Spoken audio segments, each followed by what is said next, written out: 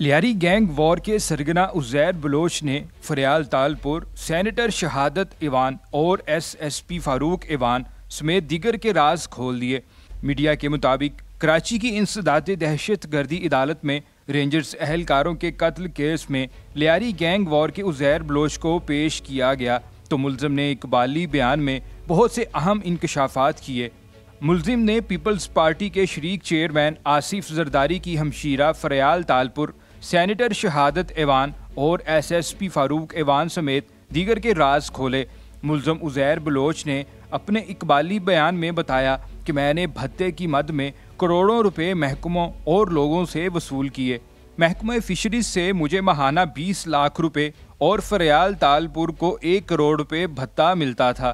Fisheries के director Saeed Bloch और Nisar mori को मेरे कहने पर तैनात किया गया था।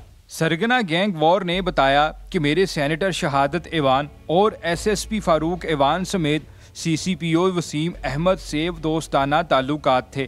मैंने शहादत एवान और फारूक एवान को ज़मीनों पर कब्ज़ा करने में मदद की और दोनों की गोठ मलेर में पंद्रह एकड़, जबकि गडाप टाउन में ज़मीनों पर कब्ज़े में मुकम्मल मुआवनत की। फारूक एवान के इलाके से महाना डेढ़ दो लाख रुपए भत्ता वसूल करके इसे दिया करता था। Mehboob Ali bright star TV Pakistan.